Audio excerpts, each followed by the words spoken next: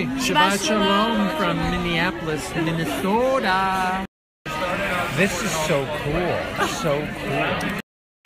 Snapchatting Molly, creating Snapchat food porn. Hello.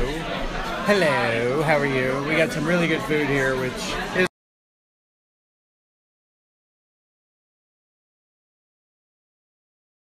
Well, you should be so. Oh no, yeah, it's that. Look at your both of your faces. Molly.